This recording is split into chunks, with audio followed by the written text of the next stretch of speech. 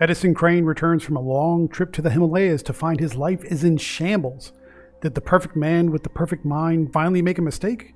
Or has the world's smartest man finally met his match? Let's find out in our review of Prodigy Slaves of Mars number 1 from Dark Horse Comics. See you in 3. Welcome back to Comical Opinions. This is our review of Prodigy Slaves of Mars number 1. To answer the question, no, the perfect mind didn't make a perfect mistake. But who better to destroy the perfect mind than a villain who's thought of, well, just about almost everything? That's the question Mark Millar asks in Prodigy Slaves of Mars number 1, and the answer just might shock you. Or maybe not. I mean, you kind of know what to expect. But otherwise, it's a good comic, so let's just enjoy it and let's dig in. Prodigy Slaves of Mars number 1 begins with a flashback to East Africa about 20 years ago we are introduced to Senator Whitney Crane, who is Edison's father, as he's held hostage by a group of paramilitary mercenaries who burned down the senator's research center.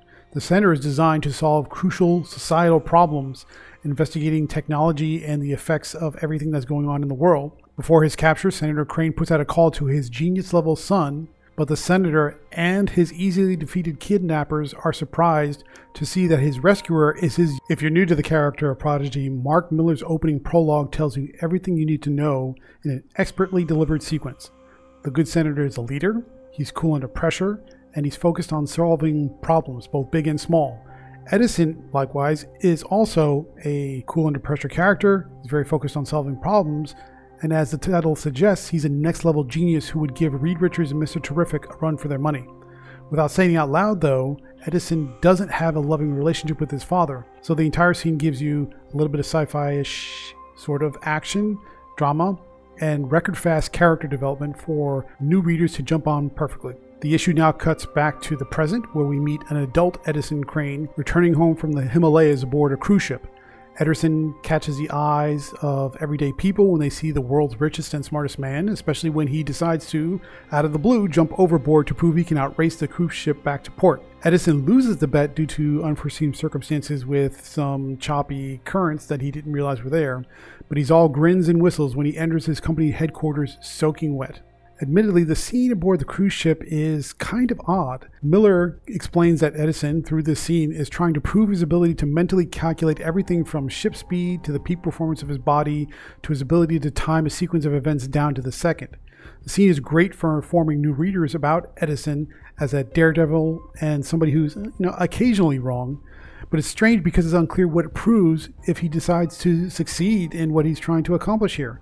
Maybe it's an indicator of his ego, but it's unclear from this introduction. I mean, you're certainly invested in the character as somebody who's unique and interesting and far more capable than the average human being, but at the same time, it just sort of seems a bit random. And then it all falls apart. Edison finds his access to his company's headquarters has been revoked due to a order directly from the board of directors. When he storms into a meeting with those board members, he learns that the plans he left the company to keep it running in his 11th month absence have all gone wrong.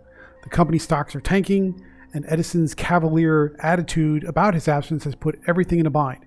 In effect, the world of his company is crashing down, and from all accounts, it's Edison's fault. Then the situation goes from bad to worse. Before he leaves the office, one of the board members pulls Edison aside to tell him his father died over a month ago. A little bit later, Edison speaks to a military officer involved in his father's super secret project involving travel to Mars and beyond. The official death report lists Senator Crane's death as a suicide, but the officer is sure he was murdered for something he found on Mars, even though there's no record of what it is or why the senator was so terrified of that discovery. In pretty much rapid fire succession, Millar puts Edison's life in a tailspin. His company is failing, his public image is ruined, and his estranged father is dead before the two can make amends, even though Edison fully intended to sort of mend the relationship on his way back from the Himalayas. The speed with which it all falls apart pulls the reader into Edison's predicament and generates a fair bit of sympathy for the guy, which helps get the reader on his side and root for his success or redemption arc or whatever journey he needs to go on. Later, Edison sits in his penthouse researching the circumstances of his father's death. Suddenly, he receives a video call from someone named Froth Schrader, or Schroeder, who claims to be the mastermind behind Edison's troubles. For his next amazing trick, Schroeder is going to blow up Edison's apartment, giving our hero only 10 seconds to find an escape. We conclude the issue with explosions, great, damning and manipulated murder scene evidence, which is worse, and a visit with another estranged relative. Overall, Mark Millar delivers an effective thriller with a little bit of a sci fi twist to please existing Prodigy fans, serve as an excellent jumping on point for new readers, and give everyone who picks up this comics something to get hooked on right from the first scene.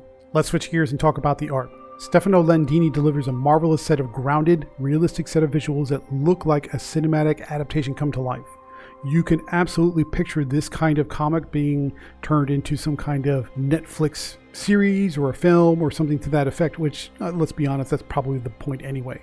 That doesn't mean it's any less good. It's fantastic. Landini's figure work, gestures, and movements are all on point, and Michelle Asarasakorn, I think I'm saying that correctly. It's a tough one. Her coloring is exceptional.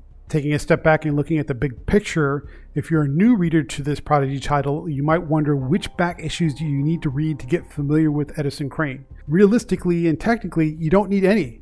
Mark Millar did such a great job telling you everything you need to know in this issue that you pretty much have everything right there laid out in front of you. However, never going to discourage you from looking at back issues or picking up a trade. So if you want more Prodigy and want to start right from the beginning, check out Prodigy Volume 1 The Evil Earth, and there's a link in the written review if you're so inclined. Final thoughts what do we think about Prodigy Slaves of Mars number one? It's a whiz bang introduction to Prodigy when his perfect life is turned upside down by a villain who destroys his life with a genius stroke of sabotage. Mark Millar covers the basics with expert efficiency before kicking off a very taut and engaging thriller. Plus, Stefano Landini's grounded art is excellent. This is a solid issue from front to back and another winner for Millarworld. Therefore, Prodigy Slaves of Mars number 1 earns a 9 out of 10. We have yet to find a bad comic coming out of the Millarworld lineup. So here's hoping that winning streak continues. Looking forward to it. But what do you think? Did you read last year's Big Game or the recent Nemesis comic? Give us a thumbs up if you like what Mark Millar is producing, and leave us a comment below with which Millarworld character you're looking forward to seeing or reading next.